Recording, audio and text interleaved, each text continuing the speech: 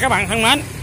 À, đây là một à, chiếc máy là đào à, mương.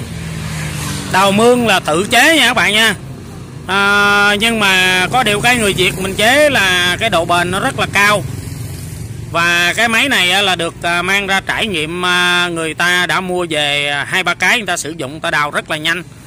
Thì à, cái máy này á thì tí hồi các bạn sẽ xem ở rằng phía sau của video sau khi mình quay cái đoạn giới thiệu máy này xong nha các bạn sẽ thấy à, nó đào trong vòng à, một tiếng hồ nó đào à, 10 cái bồn. Nếu mà các bạn có thời gian các bạn xem hết tiếng là các bạn sẽ thấy đào 10 cái. Đó đào tiếng là được 10 cái bồn. À, bồn để bỏ phân sầu riêng á để cho thứ nhất là họ bỏ vi sinh đồ đó phân vi sinh đồ với lại nước nó khỏi trôi ở các cái miền đất dốc đồ với mình thấy cái điều đó cũng hay à, mình thấy vườn cây của người ta cũng tươi đẹp lắm. Đó thì họ mua trước tiên họ mua một cái rồi giờ họ mua hai ba cái vậy đó. À, thì à, mình ở đây mình chỉ giới thiệu thôi. Cái này là cần này là cái côn của nó. Cái côn mà côn của cái à, cái lưỡi. Cái hộp số của cái lưỡi mà lưỡi đào. Rồi à, bánh xe này thì à, không có sử dụng cái à, hệ thống mà à, chạy theo à, chạy hộp số chạy mà khi mà bỏ xuống vậy nè chúng ta kéo thì nó tùy theo vùng đất. Thí dụ như đất à, cứng thì mình kéo chậm chút. Còn à, đất mềm thì kéo nhanh chút. À, hộp số đa năng là hộp số hai tay hai chân nè. Đó. À, bạn thấy không? Đó. Thì à, các bạn sẽ xem à, xem ở trên cái phần mà phần à, mình ấy nha. Thì à, về thiết kế chế tạo đồ mình thấy cũng đẹp.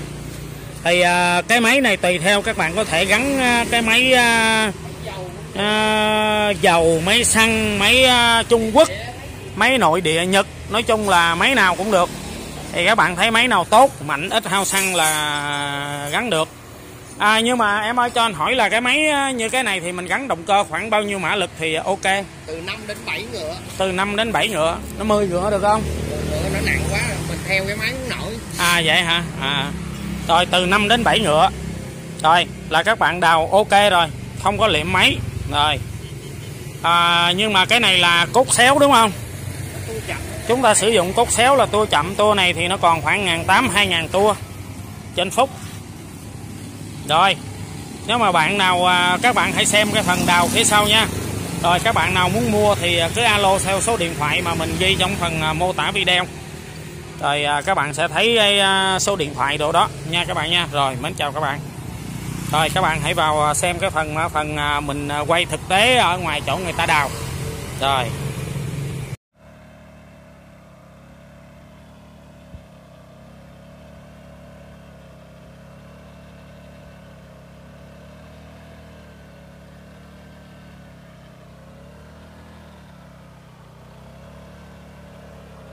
Đẹp quá mà chết đẹp. Đẹp mà đều hả đẹp mà đều.